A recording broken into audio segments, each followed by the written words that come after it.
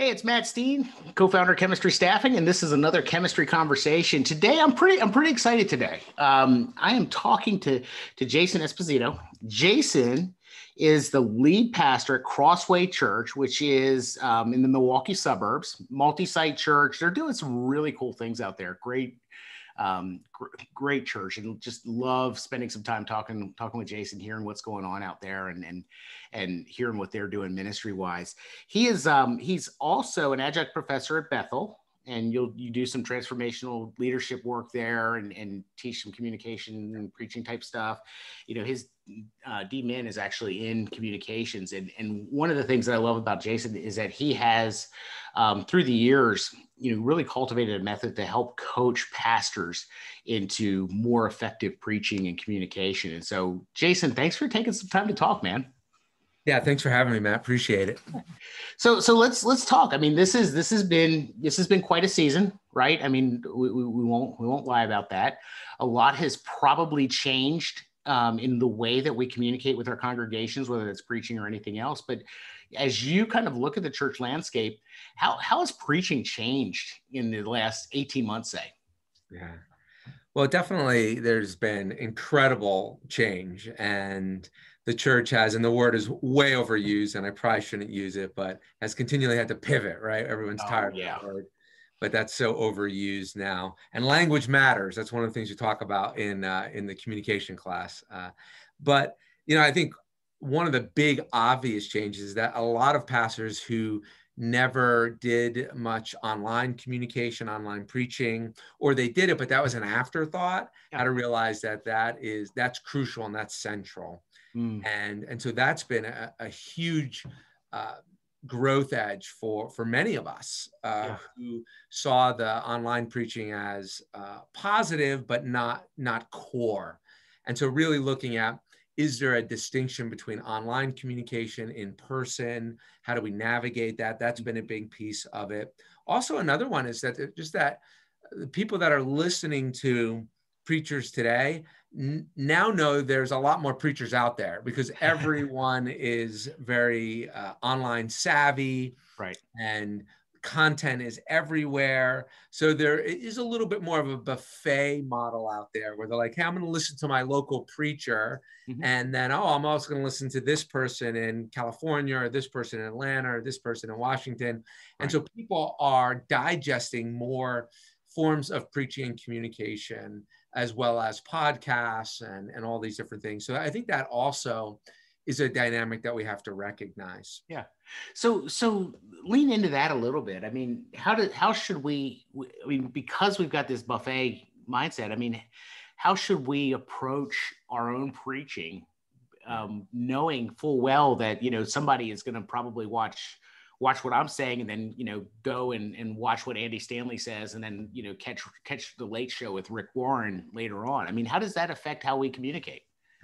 Well, I think, I think, and we talk about this in the in the lab that I'm going to be doing. This idea of of discovering your own voice and, mm. and recognizing that like your voice is unique to you, and it's not about comparing yourself against some of these other communicators. We all have different gifts, all different strengths. I'm not even uh, saying that I'm like the best communicator. I'm I'm a coach, right? And sometimes the coaches were decent players, but right. not necessarily the best players. You right. know uh, and so I'm a player coach, but I think one of the things is understanding who you are. And I, I think the temptation is to compare ourselves, mm-hmm. is to uh, unintentionally try to become more like someone who maybe we watch and we're like, well, they've got a lot more views than I have. Yeah. I think that would be a mistake because people are going to be attracted to uh, how God wants to communicate the message uniquely through your voice. And, and then we talk about this idea of just different bends and different quadrants and where we find ourselves in. And I think the more we understand that and we're, we're transparent and we're real as we're bi- biblically grounded in, in our communication, I think we'll find that there's a certain people that are really going to learn and grow from us but that said, it, we have to make sure we also are doing our homework. People can, they've always been able to do this in recent years. They can Google, fact check mm-hmm. you, those types of things. Mm-hmm. So we have to recognize that that's increased more. And uh, we've always wanted to preach with integrity, but we just need to be careful about you know the information that we've heard we're like oh that's true and we thought it was true but actually and we didn't even know it it might not be true or it's accurate i, I just think there's a lot more um, people kind of checking on what yeah. we're saying and hey why and and then understanding why that's different they might say hey you said this but i heard someone else say say it this way why did you say that so we only communicate a fraction of our preparation we might right. have to in other type settings which actually provides us a great opportunity as we expand the idea of preaching communication to kind of share a little bit behind the curtain and say, well, this is why I came up with it and this angle or understand this, which is different than this person over here. Yeah. Wow. So, so I love, I love what you just said. We only communicate a fraction of our preparation. I, I remember I don't know if it was in Bible college or seminary. I don't remember which. I mean, they would talk about how you know, you're probably putting in an hour, you know, an hour's worth of work for every minute your, your sermon's going to go. I don't know if you find that to be true or or or what you advise guys to do as they kind of lean into their work how do you how do you encourage guys to structure that yeah. Well, it's different for everyone because if you are a newer preacher, mm-hmm. then that might be the first time you've preached that sermon on marriage, or that's right. the first time you've ever preached in the book of Galatians or mm-hmm. Exodus or something, right? But yeah. if you've been doing it for a long time, I've been communicating uh, for youth pastor, as a youth pastor in other areas for 27 years you know I, am drawing on not just you know current research but also yeah you know what I've done in the past, as well as some are doing teaching teams, and I, I work as part of a team where we we collaborate, and that that affects it. And then other people have uh, whether paid or volunteer research assistants now, obviously online tools. So I, I don't kind of buy into anymore like this kind of framework that says you know for every minute you preach you need this much research because well right. what are you talking about? There's so many different factors now. Yeah, that's awesome. That's awesome. So as you as you lean in and you're coaching guys, I mean, what what what's one thing that, that as you kind of survey what the season ahead looks like that you're that you find yourself advising guys more than anything else? Yeah. You get what I'm saying? Yeah, I think one of the big ones is to be less assumptive. So we, we can't mm. be non-assumptive. That's impossible. Mm. We all have some, but less assumptive. And I think we assume a lot in our communication. I, I, do this as well. I make mistakes and I have guys evaluate me They're like, Jason, you're, you yeah. know, you need to be yeah. more or less assumptive, you know, so I can drift there.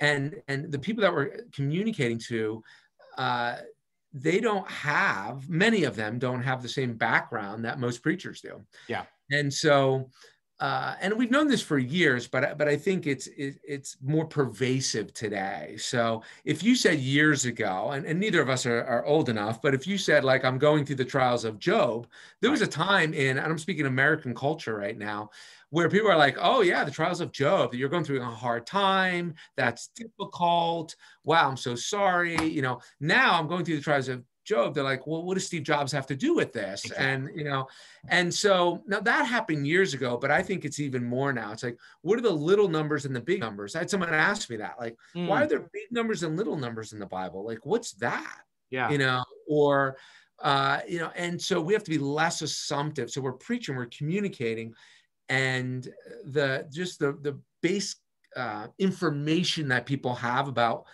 what we're communicating or communicating God's word, applying it to life, uh, is is less, and so that that that affects communication a lot. So now the, the typical pushback on that is going to be, oh, well, you're watering down the gospel or you're watering down the message. You know, how do you how do you respond to something like that when somebody says, hey, you know, I, I be less less assumptive, but you know, now we're getting into seeker sensitive stuff, or yeah, you, yeah. know what you know what I'm saying? Yeah, I think it's actually the opposite. I think by being less assumptive, we're we're being true teachers and communicators, mm-hmm. mm-hmm. and uh, and we're helping people to understand like why we're saying what we're saying. And yeah. so if you are uh, you know preaching on a, a certain text, uh, so you're in the Sermon on the Mount and you're talking, you know, whatever. I mean, whatever you're talking about, I think we have to we we're giving people more context, more understanding. So yeah. we're going to have to go a little bit more into, well, what did this mean in that day? Or why is that written that way? Or Paul's writing this letter to who? Or, you know, and and and, and the other thing I think that people misconstrued is, is if you've been highly churched, and mm-hmm. it's highly church people that would say things like that. Yeah. yeah. You know, and you say a word, you say, well, sanctification or atonement, or even say the word sin what the word actually sin means to them might be different than what sin means to you. And language is dynamic. And, and, and language takes on its own definition. And so mm. even words that I would say like 10 years ago, I thought this word meant this, and now it means this, it, it shifts and it, it changes. And so part of communication is understanding that and making sure that when we, we're saying words, even if we believe we're preaching and teaching to a highly churched kind of knowledgeable community, uh, you actually have different definitions for some of the basic uh, Christian concepts. And so, mm. and that applies not just to preaching uh, Christian concepts, but a- any type of things. There, there's words that we use today that don't didn't even exist in the past. There's words that mean th- different things in different cultures. So again, language is dynamic. So I, th- I think being less assumptive is actually being a true teacher mm. and and going a little bit deeper into how someone can then understand the biblical text and apply it to their lives. Very cool. Very cool. That's that's that's really helpful, and I I really love that that idea of you know, hey, maybe maybe we're we're actually called to do more true teaching and instead of hiding behind our assumptions. That's, that's awesome.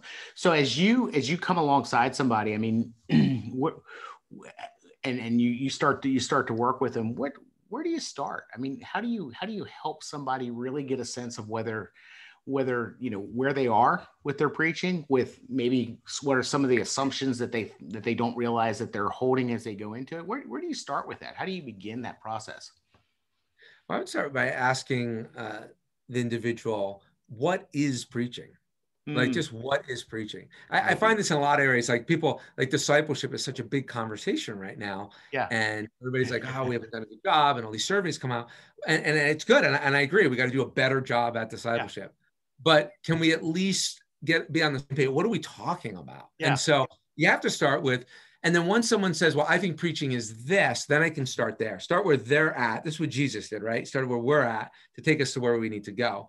And so I think that's really important yeah. to make sure that we're actually talking about the same thing. Yeah. Back to I talked about voice, like that's a huge one. Uh, er, young preachers, especially, will listen to whoever they like the best, and that's great. That's a great yeah. thing to do, and they uh, will copy that person.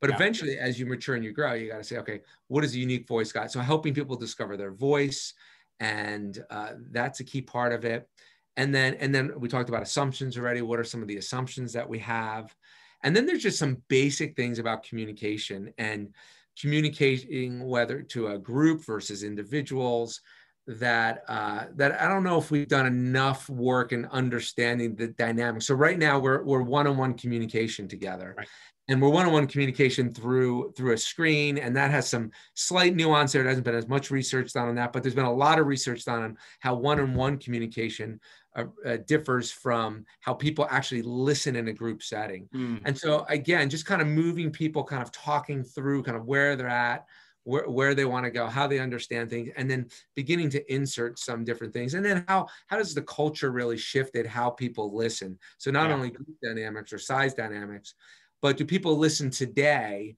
the same way they listened you know 500 plus years ago during the protestant reformation or 2000 years ago during the time of jesus like do we actually hear things in, in a different way? Yeah. and so all of that i mean I'm, I'm, kind of you know presenting different pieces of it but yeah. start with the definition is what is preaching? What are we even talking about?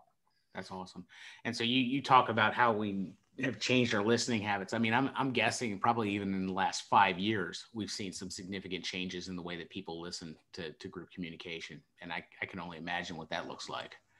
Yeah, and we can't deny the influence of right uh, of the of YouTube, of, yeah. of streaming services, Netflix, Hulu, Disney Plus, you know, yeah. HBO Max. They all they all have them now, right? Yeah. And also now the impact of our Zoom conversations and, and even how you do a, a, meeting on Zoom versus in person and those dynamics. I mean, all of facts. It's still preaching. We're still trying to preach God's word, be faithful to it, communicate, proclaim.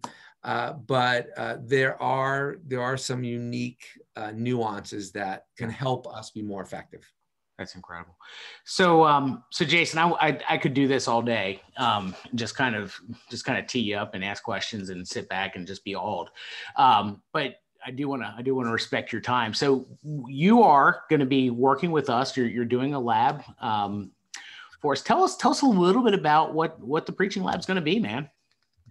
Super excited about the lab. Um, it's going to be a, a, lot like this kind of conversation. Uh, a big chunk of it's going to be synchronous, and we're going to work through what is less assumptive, what's your voice, uh, yeah. what is preaching. Now, we're going to dive into uh, a, a, a, framework that I think really can help us uh, communicate in an effective way.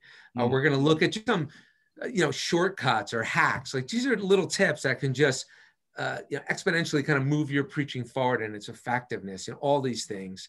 Uh, and then there's going to be time obviously there's it's not going to be all lecture there's going to be a lot of dialogue.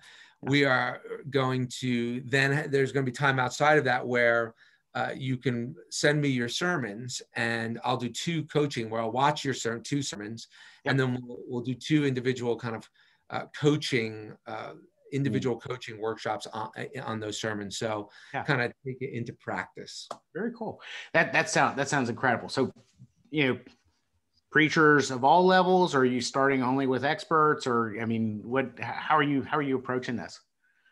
Yeah, every at all levels, anyone can get better, right? And so. Uh, whether you feel like you really have the preaching gift and you're, you're the best preacher out there, you're the Michael Jordan, you know, LeBron uh, James of preaching, or whether you feel like, man, I'm just I don't even know if I can put two words together. Like, yeah. I, I just, the principles that we're going to engage is going to help you wherever you find yourself. Yeah. And whether you're preaching to large groups, online, smaller groups, you, you're more in teaching environments, uh, you know, it, it can it can help kind of move the needle wherever you find yourself. Very cool. Jason, thank you so much for thank you. I mean, Great thank you so much for what you're doing in Milwaukee. Thank you so much for what you're doing to coach pastors. And thanks for taking the time to talk today, man. I really enjoyed it and looking forward to uh to seeing what happens with the lab and, and, and you in the future. We, we've got all the information on on the lab down below. Um, you can learn more about Jason there as well. And we're really looking forward to launching this. So Jason, thank you. Thanks. Great, great connect with you, Matt. Have a great day.